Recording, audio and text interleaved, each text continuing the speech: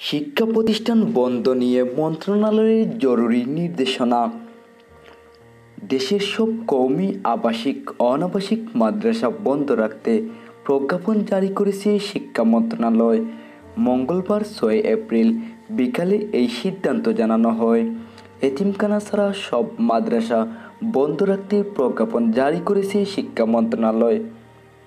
Corona পরিস্থিতিতে school, college ও বিশ্ববিদ্যালয় বন্ধ থাকলেও ছাত্রছাত্রী ভর্তির সুবিধার্থে স্বাস্থ্যবিধি ও সামাজিক দূরত্ব বজায় রেখে কৌমি মাদ্রাসায় অফিস খোলার অনুমতি চাওয়া হয়েছিল।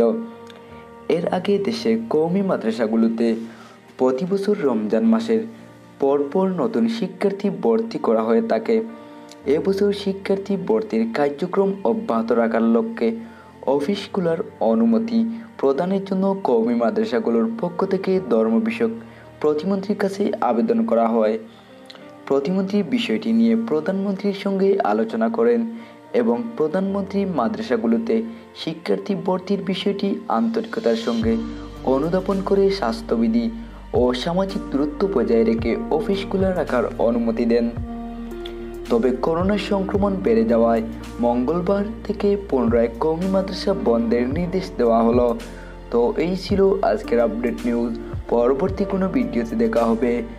আর শিক্ষা সংক্রান্ত যে কোনো তথ্য সবার আগে পেতে আমাদের এই চ্যানেলটি সাবস্ক্রাইব করে রাখবেন। ধন্যবাদ সবাইকে।